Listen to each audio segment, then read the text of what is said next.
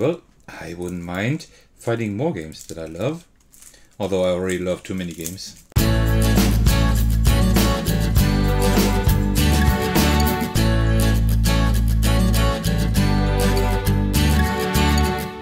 Hey everyone, it is time. It is time. It is time. Cosmoctopus is here. Uh, it is finally here. Um, and this came out of nowhere. I knew that um, like um, everything was fulfilled in uh, in Europe here. So I knew it was on the way and would like arrive within the next one or two weeks. I knew that, but I never received a tracking link. So, well, today a package showed up and I didn't really expect anything except for Cosmoctopus and maybe one or two review copies of games, but I knew that these would take a little bit to get here. So that's like the only thing that I really expected. Um, but I didn't expect it because no tracking link. Long story short, it is here and I'm really happy. So let's unbox this. Oh, by the way, have I mentioned, I'm not only unboxing this today, but you will also take a look at a few goodies because well i was one of the first backers and like when you backed like this project early you could like get the plush and the pin and everything. So you will also take a look at that. Um, if you haven't seen my preview i really highly suggest you go there and watch it because this is one of my really my, my most favorite new games that i've played. I just absolutely love this one and yeah um, watch my preview. I will definitely also like post a solo playthrough at some point. I don't know when I will get around to it, but I hope as soon as possible.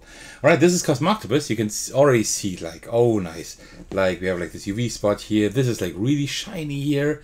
This looks amazing, and everything is like glowing and stuff. It's like amazing. It looks great and you can see my camera in the reflection, uh, which I don't like too much usually. Well, and then here, um, this is a game by Henry Audubon where we are trying to please the great inky one, the Cosmoctopus. Um, so let's take a look at the sides here. So here's the side, and also here UV spot, really cool as well here. So one to four players, um, 60 to 90 minutes, and 14 plus is the age. And this is really cool. That's the thing I like. We have, we have different orientations on each side. That means no matter how you put it in your shelf, you will always be able to put it upright. That is great. I absolutely love this. And what I really like as well is um, I still have the prototype here. Um, and the prototype box is a lot larger. So I'm actually happy that this is quite, quite a handy box. It's not too large. That's pretty cool. Um, so yeah, nice. All right, so let's take a look at the back first. So, oh, even UV spot back here. That is crazy. Okay, so welcome devotees. All right, so here we see like um, actually how the game is kind of set up um, and also like most of the components here, pretty much all of them. Um, it's really cool that you actually have like the private investigator here, which is like for solo and co-op play. I haven't played it co-op yet, so that's still something I need to try. But the solo mode works really well, but um, there was one or two like tweaks made to it after that. Um, I even mentioned something in my video um, that there was like something that I would like to see changed, and I think it did get changed. So I hope um, it, it, did get changed because then um, I would actually like the solo mode even more. All right, so let's take a look um, at the game. Oh, the, the cover just looks great. This looks just amazing. Wonderful. And here's the tentacle. Nice, nice, nice. And oh, there is actually a little box here for the cards. Okay, let's get ahead of ourselves. Let's look at the rules first. Uh, the rules, probably at the bottom. There we go. So, um, very nice as well. The rulebook could have been larger, as you can see, but it's not. It's just a small book, just a little bit larger than my hand. So, um, really cool. You can just place it on the table much easier than like a large rulebook. Um, long time viewers of my channel know that I like this. Um, we have a table of contents that is amazing. That is really great. So you can just take a look. Uh, let's see, how do you move Cosmoctopus again? Oh yeah, I know. So that's pretty cool. All right, so we have the components here the setup of course. Um, we do not have numbers but we have letters that kind of show you like where everything is. You know i appreciate that when the rules actually like um, where like the text and the image are linked by um, by like numbers or in this case letters. Very cool. Um, okay. Then here we have taking turn three steps. I mean i already know the rules since i've played the game already but the rules look uh, they have a better they look better than the ones in the prototype of course um, very cool. We have like these little info boxes here. That's pretty nice with like um, like small um, extra info, which I like a lot.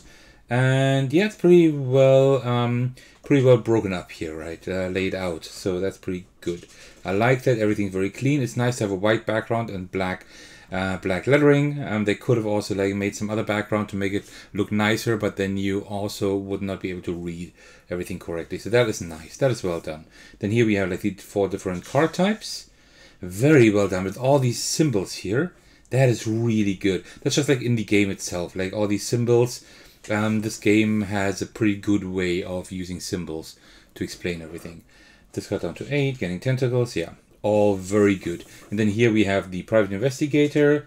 Um, so how do you know whether it's like solo or um, um, cooperative? I think it doesn't matter. It's pretty much the same thing, right?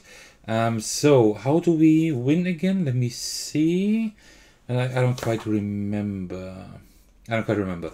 But then we have the game duration. Right, so we, we can um uh, you can like also adjust the difficulty. You have different like realm layouts which make the um, game more difficult and more interesting. And also you can design your own inky realms. And that is something that I would like to see um, if there is like will be like a community like uh, sharing more of these layouts. I hope so. That would be cool. And then we have the Cosmic Bridge. That's actually something I haven't played with yet, but that is, um, I think that is a kind of a teleport kind of thing, right? Um, I think that's how it kind of works. Um, pretty interesting because that means you can also like disconnect your realms. You can like have two realms, like here, for example, right? And then like use this as a crossover, which is pretty interesting. Yeah, very interesting. Okay, and then here we have like card qualifications like an FAQ here and that is good. But there is no like overview. I hope there will be some player aids. I think there were player aids I think but I'll have to check those out. I'm really gonna be excited for the tokens because I still had like the the um, 3D printed tokens in the prototype and now these are made from wood and these look already really good. So let's take a look at the tentacles first you know? Like these are the tentacles that you need to collect to um, appease Cosmoctopus so here we have the centerpiece. That is the almighty Cosmoctopus, which is amazing. It's really large and chunky. Looks really good. Um, that is just um, that is like the Cosmoctopus. That's like um, what you use to move. Like you move Cosmoctopus on these different tiles in the realm, and then you do whatever action it says there. Um, but at the end, when you actually gather your eight tentacles, then you can put like Cosmoctopus in the middle, which looks really cool. And these tentacles, wow, look at this. These are much more chunky than in the prototype copy. These are really big and nice detail here. These look great. These look and feel amazing. These are great. Wow. Wonderful. These are really cool. They have really outdone themselves with these tentacles here. And I think we had like three different shapes. Is that right? Two or three different shapes. Yeah, we have this one here and this one. Ah, I think it's only two shapes. Yeah, like the curled one that is a little bit curled here, and the, this one. I think there was. I thought there were three shapes, but I guess only two. But I mean that's fine. But really cool. These are great. These feel amazing. Yeah, much better than the prototype, of course. But um, that was like a stretch goal, I think, to make them even larger. And these are now really large and chunky. These feel really great. Um, then, because what? I just love that. I love that. Okay, and then here we have like all the tokens. Let's take a look at the tokens now and also the tray. So that also was a stretch goal and one that was reached quite late. Um, I was really like hoping, like I think it was like reached within the last few days. And I was really hoping that they would reach it. And they did. So we have now, oh, this is a little bit loose. Okay, that's something, um, I don't know, I might have to put a rubber band uh, around that. But this is like for the resource tokens. You can just put that tentacle it's great. It's glorious. It's just a tentacle, right? you can put that like in the middle of the table and then you can put the resources in there. And I would suggest we already do that. We can just do that right now while we take a look at the resources here. So, um, let's take a look at all of them. So let me just put that a little bit aside here. So we have a little bit more room like this. And then you can do that. All right, great. So let's start, well, let's start with ink first, right? So we have ink here. That is like these ink bottles uh, made from wood. And wow, these look really nice. This is like a really deep black. And they feel great. They kind of, they feel a little bit, no, not quite. They're a little bit less rough, they, but they kind of feel and look like the components um, um, of Parks. Which makes kind of sense. It's a different, it's not Keymaster Games, it's, it's a different um, publishing company. It's Paper Fort Games, but it's the same designer, Henry Audubon. So Really nice. And you see, we can put them in here and they fit really well. Wow, they fit pretty much exactly. That is pretty crazy. Very cool. All right, and then we have the coins here, which are these golden ones, or like these, yeah, a little bit like, looks kind of like a mustardy yellow. Um, really, they feel great. Yeah, they do have, uh, they do have a finish. They're not as rough as other um, wooden tomes, for example, the ones in Cascadia, or I think Parks as well. But these look really cool. I like them. They kind of feel like coins. And they have a nice size as well. They're large enough and chunky enough, but they're not too uh, like too small or too too large. And they also fit in here quite well. All right. And then let's take a look at the whispers, which is like these red speech bubbles here. Um, there we go. Oh, these look great as well. That's a really nice shade of red. Oops. It looks a little bit darker on camera here.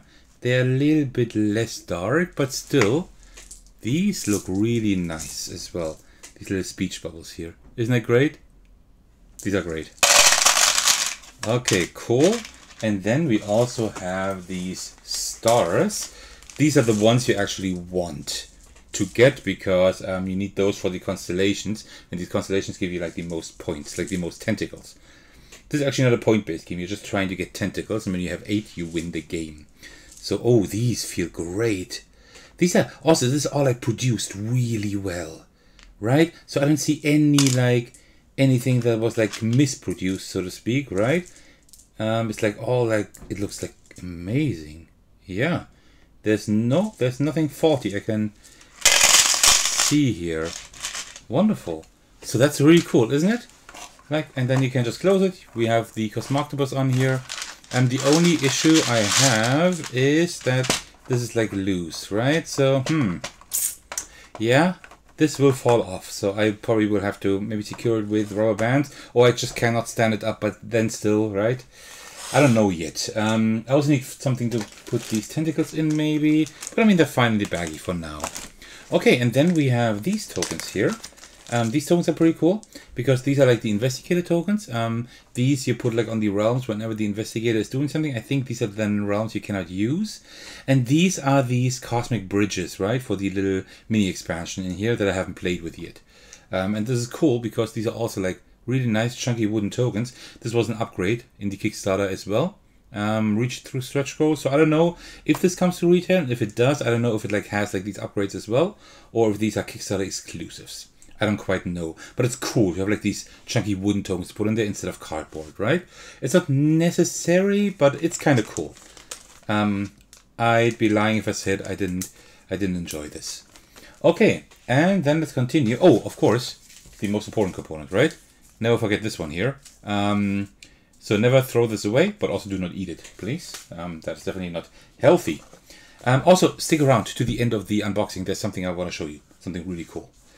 Um, okay, so let's take a look at these cards. Oh, and Terraria is going to be the next project from Paper Fort Games, and I'm really interested in that as well. So, um, yeah, if you want me to take a look at your prototype when it's ready, let me know. I will definitely feature that on my channel. Um, after Cosmoctopus, which is amazing, I definitely will. So the cards are going to be interesting because um, the cards were like the only thing the prototype I didn't like as much. And yes, they are much, much better here. All right, because the cards in the prototype, they were like made from a material that kind of stuck, where like the cards were kind of sticking to each other. And that's not the case anymore here, as you can see, right? So these are now really nice. You can actually like really like spread them and stuff. So that is much better. Um, I'll keep that here to remind myself of uh, to check that out. I think I will be able to check that out at Spiel. Um, so I think I will do that. And here, oh nice, yeah, these cards. I mean, um, these cards are pretty much like pretty basic, right? Um, they don't have any finish, and um, so if you like play the game a lot and you shuffle the cards a lot, then you probably are better off sleeving them um, because they will show their wear. But honestly, I like my games to look like great, like even after years of playing it. That's why I like pay great attention to like be careful with my games and also tell other people to be careful. uh, but in this game, I think I wouldn't even mind like seeing the wear at some point because that's this kind of game, right? It's like this kind of Mystic, Cthulhu-esque kind of game and like if things aren't as clean, that kind of fits the vibe. You know what I'm saying? So, yeah. So as I said, these are the, con- the constellation cards here. These are the ones you actually want to work towards because they um, give you tentacles here. Um, so yeah, really cool. Very very nice. And there's some like really really cool um, names and also like really cool um, fonts here. Some of them, not all of them unfortunately, but some of them are pretty cool. Um, so these are the whisper cards here. Um, ah, really great. I just love the art style. I like the all the all the font and the lettering here. I really really enjoy that. Um, and these are the ones you need the coins for the relic cards. Actually, no, these are not called whisper cards. These are called hallucination cards. So we have the constellations, the hallucination cards, and then here we have the relics. Um, there is like this one relic I wanted to show you, but I can't find it now. But really, really cool. Very nice. Um, about these cards, I know whether I will sleeve them. Maybe I will not. I mean, we do have like this little box here, which I didn't know we would have, actually. Um, I kind of must have missed that in the campaign, or maybe I just forgot. I'm not sure. Um, and then here we have more cards. So let's see. We make games you'll love. Well, I wouldn't mind finding more games that I love. Although I already love too many games. But, well, I mean, progress, right? So let's see. And then here we have more of these relics. Yeah, for example, look at this. The perplexing omnibox is like this, like the wrong way, like on its head, right? Or here, like the letter opener, there's like actually a line through letter opener, like when you actually open a letter, right? So that's pretty cool. Like Prism, you see here, a few lines through there, right? Um, so that is pretty cool. Um, and then here, Atlas of the Branching Paths, we actually have like a few arrows here and stuff. That's pretty cool. And these are the scriptures here. But yeah, very cool. Okay, great. Ah, and then here we have the Investigator cards. These are then important to um, to actually see the um, uh, to to play to play the uh, investigator. And here are the reference cards. I knew there were reference cards. So here um, we have like what you do during a turn. Here you have like um, what the uh, main um, resources and card types are, and on the back you have like the explanation of the of the different um, of the different symbols. And there seem to be well, there seems to be some asymmetry here actually. You see, starting hand, and these are three different starting hands. That is something new. That is something that I haven't known so far. So that is interesting. Okay, cool. Um, these don't quite fit. They kind of go over the edge here, but um, that is okay for now. I will have to see later how I will actually uh, work on all of that. But there's are still the tiles and stuff. So here we have um, just a sticker sheet. Um, I will leave that in the box for now. That was also part of the Kickstarter. Look at these Cosmoctopus. Um, yeah, I might actually use these stickers because these are pretty cool. Very, very cool. This is going to be the highlight. I will show you later why. Um, so, and here we have like the story. This is pretty cool. This is just something you can just hand out um, to the players around the table while you're setting up the game. And then somebody can maybe read that out, right? That's really cool. And then also we have another icon guide here. So you can leave that on the table, but everybody has their own card. But if they want to like look at it in, in a larger way, there are some more explanations here. That's pretty, pretty cool. So we actually have like two player aids, right? One for each player, and then one for, um, and then one for the, uh, one for the entire table. And here, look at this, really cool. Also, again, like a UV print, and you see like um, a really cool design inside of the box. Very, very nice. Okay, so, and then here we have the tiles. So these tiles are pretty thick. They're, they are sturdy yeah, these these feel pretty good. Nice. Um, and these are like the different um, tiles here, and then also like we have like these extra tentacles you can get if you have like a specific number of resources, and then only these uh, five times tokens in case you have just too many of one. Um, yeah, so that is pretty cool. Yeah, nice. Um, and then we have even more tiles here, and these are um, this is like what you put in front of you as a player and then here around the like in these little um, round circles here you can put like the tentacles that you um, amass. And you have like eight all eight of them. Then you put like the cosmoctopus head right here in the middle. It's like a really cool touch. I really like that yeah. Okay very very cool. Okay and that is almost it. But let me show you this here because this is like um, a, a small graphic novel for the game. I don't want to spoil it too much, but I want to show you something. What do you see on this page? Here in the in the left. Well, if you look very closely here, you actually see that I'm part of the game. There are like some um, there are some references to like other content creators, I think, and I'm in there as well. You see like the two cards here, like pretty much like um, my channel logo, right, with the S and the T. Really, really cool. Take a look at that when you actually have the game in your possession. Really, really cool. Yeah. And, ah yeah, well, I know that. I know that plushie here as well. Very, very cool. That's a real life plushie, actually, that I know. Very, very cool. So, yeah, I don't want to spoil anything here. Just wanted to show you uh, that because that is pretty cool.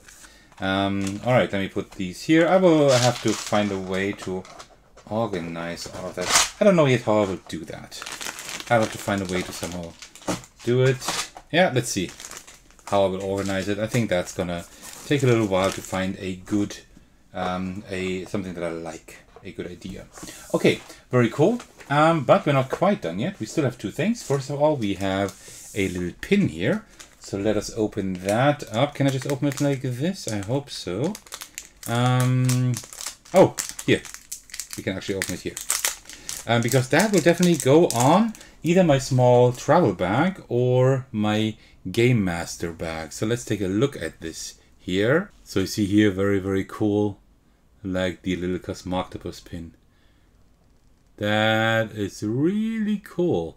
So I'll definitely pin that either to my traveling bag, as I said, or to my Game Master bag, my role-playing bag. I'm not quite sure yet, but I think I will put it to my, um, pin it to my travel bag actually. Um, and then Last but not least, we have the plush. I usually don't really want plushes when I like back a project or something like that. Um, because I have enough plushes at home, actually, to be honest. Um, oh, actually, there's something to open it here. But, well, you know, it's a Cosmoctopus plush, so I really want that. I don't know where I will put it yet. But that's really cool. Oh, look at this. Look at the legs. this is so cool. Oh, that's that's adorable. Look at this. It says here, Cosmoctopus plushie, Paper Fort Games. Okay, cool. Nice, nice, nice. Yeah, sorry, just had a smell. Um, it actually doesn't feel uh, smell too bad either. Um, oh, that's that's kind of funny, yeah. Look at this. Yeah, but that is really cool. That one, that looks amazing. Isn't that great? I don't know where to put it yet, but that is really, really cool. Very, very cute. Yeah, they actually um, they actually showed in the Kickstarter updates. They showed a few, and maybe even on social media. They showed a plushie where like one of the eyes was the wrong way, right? And I was kind of hoping I would get one of those because I think a lot of people would like say, "Hey, I want a real one and not that uh, that broken one." But I would have liked that weird one to be honest. But this one is really cute, so really looking forward to I don't know finding a place to put it. Maybe I'll just keep it here um, in the Maybe I'll just keep it here in my office where I'll also keep Sparky. You might remember Sparky from some of my very first YouTube videos here. Um, so now these two can maybe hang out here together. That would be great. All right, well, um, that concludes my unboxing of Cosmoctopus. And well, I really hope you enjoyed the small look at like the components and the small box here. Um, I will definitely post a uh, a solo playthrough at some point. Can't promise when there will be because I still have like a lot of reviews to film. Then I have the spiel. Then I will have my top lists. So I don't think I will be able to do that before November. But I hope I will be able to put out um, a solo playthrough this year. So yeah. So thank you very much for watching. I really hope you enjoyed the video. As usual, I want to thank all of you for your support, especially my patrons who are very generous by supporting me on Patreon. The biggest shout out goes to Thakono, who is the most generous supporter at the highest tier. Thank you very much for that. You can also support me on Patreon if you want to. In general, I'm happy for any kind of support, including likes, comments, and subscriptions. You can also join my Discord server in case you would like to hang out with me, and my amazing community. Alright, I'll see you very soon, either on the next video or on my Discord server. Take care, everyone. Stay safe and all hail the great Inky One, and cheers.